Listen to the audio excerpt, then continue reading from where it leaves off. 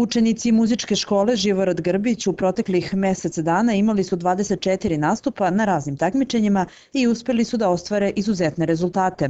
Među njima su se posebno istakli Jan Rašić i Manuel Ristić, violinisti u klasi profesora Suzane Radovanović, zatim Aleksandar Nikolić, harmonikaš u klasi profesora Zorana Rakića, Andrija Mirković, klarinetista u klasi profesora Ljubiša Jovanovića i Olivera Pantelić, pijaniskinja u klasi profesora Ivana Rabasovića. Iza njih su četiri prve nagrade, šest drugih i sedam trećih, kao i dve pohvale. Jana Rašić, 9 godina, prva nagrada na takmičenju u Lazarevcu, e, drugi razred u muzičkoj školi. Konkurencija je bila velika i volimo da se takmičimo. Ja sam Listić Mana, sviram od dve godine. Ja sam bio u na takmičenju, osvojio sam prvu nagradu, konkurencija je bila velika, ja sam u mojoj kategoriji osvojio prvo mesto.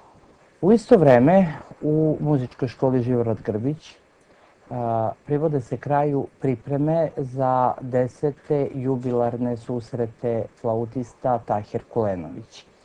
Za ovu priliku spremili smo mnogo iznenađenja jer očekujemo goste iz Srbije, ali i iz inostranstva. Takođe članovi žirija su eminentni pedagozi sa naših akademija, ali i iz Mađarske i Makedonije.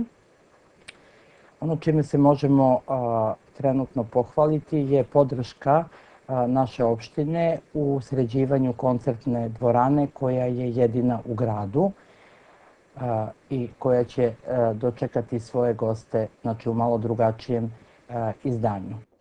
Deseti jubilarni susreti flautista održat će se u periodu od 9. do 13. marta, a za svečano otvaranje planiran je koncert Simfonijskog orkestra mladih koji je sastavljen od učenika devet muzičkih škola Srbije.